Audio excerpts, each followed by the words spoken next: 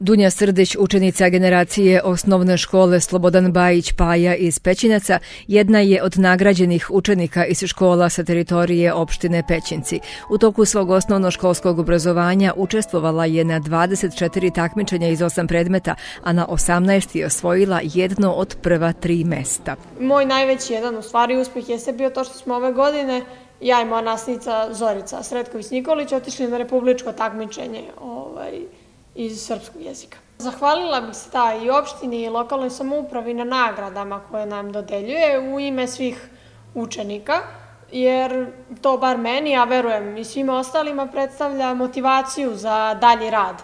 Smatram da time motivišemo i mlađe učenike da se i oni takmiče i ostvaruju nove uspehe. Na tradicionalnoj svečanosti koju za najuspešnije đake u prethodnoj školskoj godini organizuje opština Pećinci sa ciljem da ih nagradi i motiviše, čulo se da su pre dve godine novčane nagrade udvostručene, što znači da su đaci generacije dobili po 30.000, a nosioci Vukove diplome po 15.000 dinara.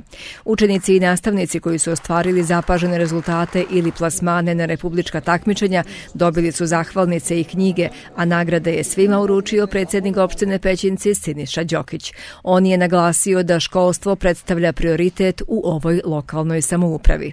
Trudimo se da svoje deci omogućimo što lakše školovanje, da imamo što veći broj djece sa odličnim uspehom kao i džake generacije.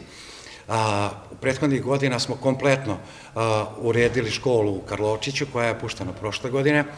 Ove godine, 1. septembra, kompletno renovirana i proširena škola u Kupinovu, kao i 1. oktobra otvaramo vrtić u Šimanu, znači kompletno izgrađen iz temelja. Svečanost je održana u Kulturnom centru Pećinci uz prigodan muzičko-scenski program u kome su učestvovali polaznici studija za muzičku edukaciju i obrazovanje i literarne radionice, također mladi pesnici iz Pećinaca i polaznici muzičke škole iz Rume.